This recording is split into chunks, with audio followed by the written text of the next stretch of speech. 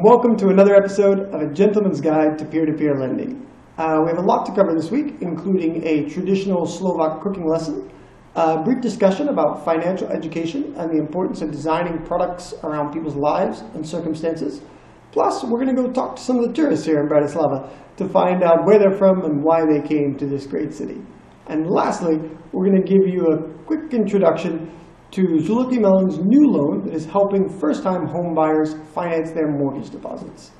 But before we get started with all of that, we just have enough time for a quick recap of the latest news in fintech and peer-to-peer lending from around the world. Extra, extra, read all about it.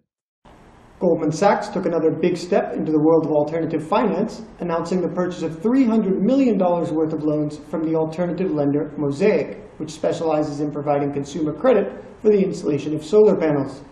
This follows several similar moves by Goldman Sachs, including the launch of an online lending platform in the US and plans to launch a similar platform in the UK soon. Peer-to-peer lending in India received a big boost this week following the announcement of new regulations that will place it on similar legal footing to that of traditional mainstream banking in the country.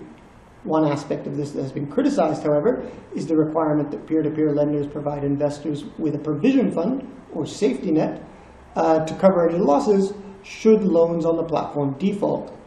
This obviously bucks the trend seen here in Europe by platforms like Žltý Melón and Zopa, who no longer offer investors a provision fund because it decreases investor earnings.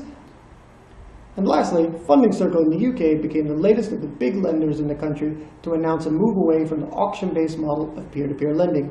This move has been criticized by some of their investors due to the decreased transparency and reduced investor earnings associated with a market-based model of peer-to-peer -peer lending as opposed to the pure traditional auction-based model operated by firms like Žltý Melón. That's all the time we have for today in terms of the news, so let's get over to the kitchen and learn to cook some traditional Slovak food.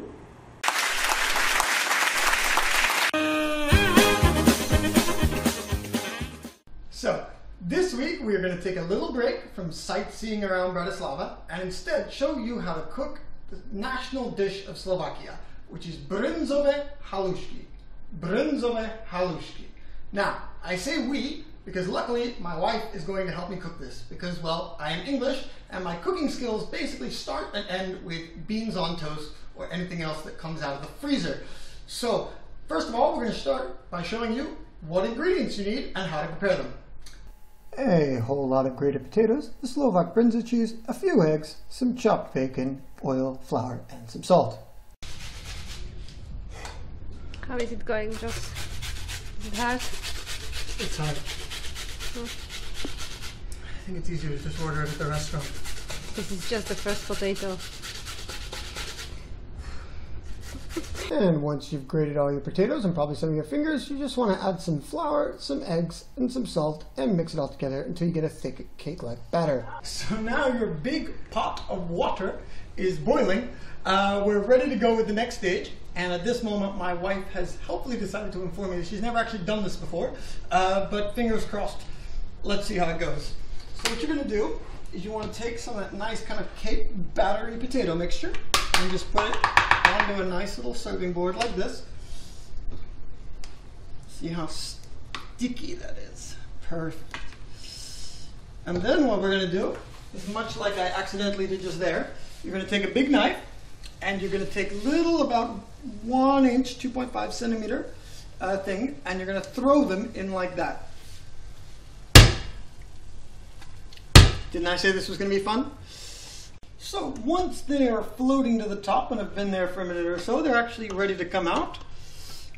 So you just want to take them like this, drain them, and then you can just put them on a plate to the side. We've obviously still got to make our bacon. Simply cut your bacon into small squares like this and fry it until it is nice and crispy.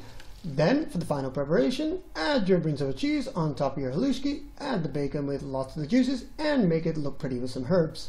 And of course, we need something to drink with this delicious meal. And what we have here is zákysanka, which is a traditional kind of Slovak milk. It's again a little bit sour um, and very thick, as you will see here.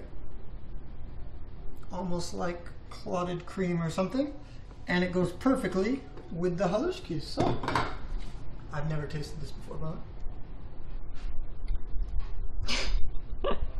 Delicious. it's interesting. I might have a pivo as well. And as you see, this cheese is melting, so you want to get some of your cheese, some of your bacon. Not bad for an Englishman.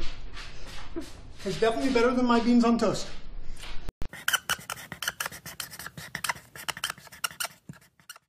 So, now that you've learned about traditional Slovak cooking, it's time to learn a little bit about finance in another episode of Financial Education 101. This week we're going to be talking about the difference between financial education and financial capability, which, in a nutshell, is the difference between educating people to use complicated financial products and services and designing those products and services in a smarter way to use people's existing financial education and help them use and manage their money more effectively.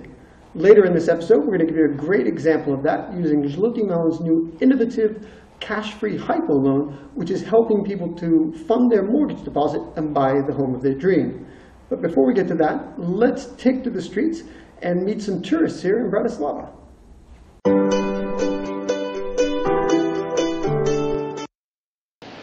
Guten Tag. Sprechen Sie Engl- English?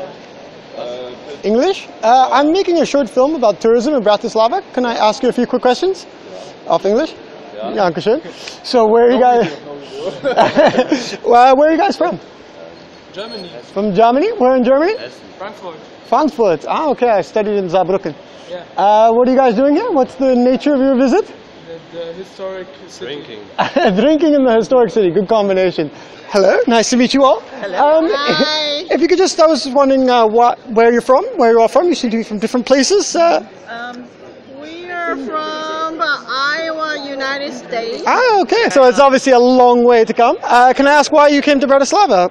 Is this part of a bigger tour, or? It's part of a bigger tour. The, we have the uh, National Czech and Slovak Museum Ah, in Iowa. in Iowa. Okay. Yes, in Cedar Rapids. Because there's a lot of immigrants, I think, from Slovakia, kind of in Iowa. Okay. Yes, a lot. So you're exploring your roots. Uh, That's her. Although I'm Irish. okay. And I'm German. I'm English. What is Sprechen Sie Deutsch? I'm Irish. Chinese. and I'm Czech. Oh, okay. Yeah. And how have you found it here in Bratislava? Is it different than you expected, or? No. we were not hoping for, for more me. sunshine, but other than Yeah, I'm that, sorry about that. I tried. I didn't know you were coming. That's all. Next time. It was a beautiful day. So we just tried the wines, which were a surprise. Because It's a great we wine growing area here. know nothing about Slovakian wine. Mhm. And we found it to be excellent. Well, there are many good things here, so I hope you enjoy the rest of your trip. Thank you. Thanks so much, ladies. Have a nice Thank day. you. So, where are you guys from? We're from England. We've been on a Ramblers holiday. Ah, Walking in the mountains. in the Tatras, in the high Tatras. And how was that? Brilliant. Yeah. And- And the paradise. And the The, paradise. the gorges. Ah, okay, lovely. Mountains are a little bit taller here than in the UK. Uh, so, hello. Uh, where are you from? I'm from India. From India. And what brings you to Bratislava today? Uh, the scenery and the good weather here, Okay. And how have you found it so far? It's good, it's good. Where are you guys from? What's up, dude? US of A, man. Yeah. Where in the Just US? meeting up with new buddies. I'm from Washington D.C. Washington D.C. Ah, okay. I used to live in California. Okay, cool, man. So, uh, but I'm originally from the UK. Uh, so you got you live here, or are you just all visiting for the We're just weekend? visiting. Or? Our boy's getting married this week. Ah, Back at it. okay. It's all- it's all Congratulations. So he lives yeah. there. So how have you found Bratislava? We just got here. We just got here. We're gonna start gambling and drinking right now. Gambling. After Okay, a little bit okay. of Brunch. Yeah. What Nice. can we do around here that gets us into the real trouble? Uh, the real trouble. I'm not sure about that. It's a, it's a nice place to go out now.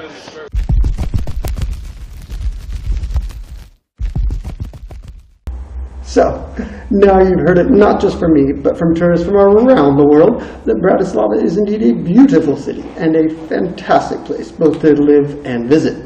Now, though, we're going to pick up right where we left off, talking about financial capability, using the example of Žltý Melón's innovative new CashFree Hypo loan, which is helping home buyers to finance their mortgage deposits.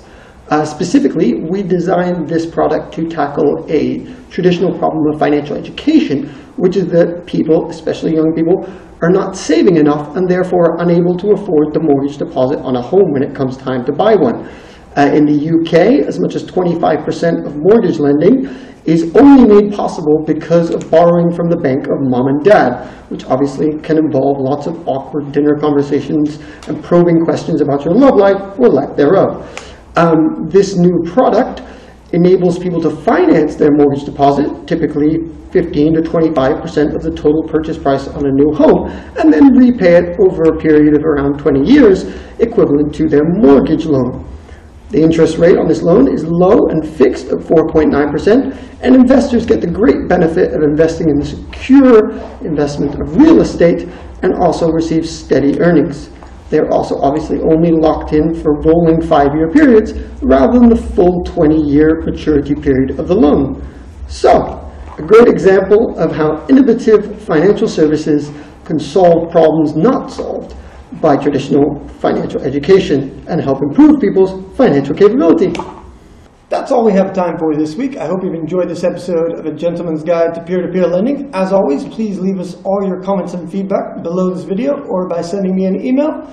And we'll see you next week. Do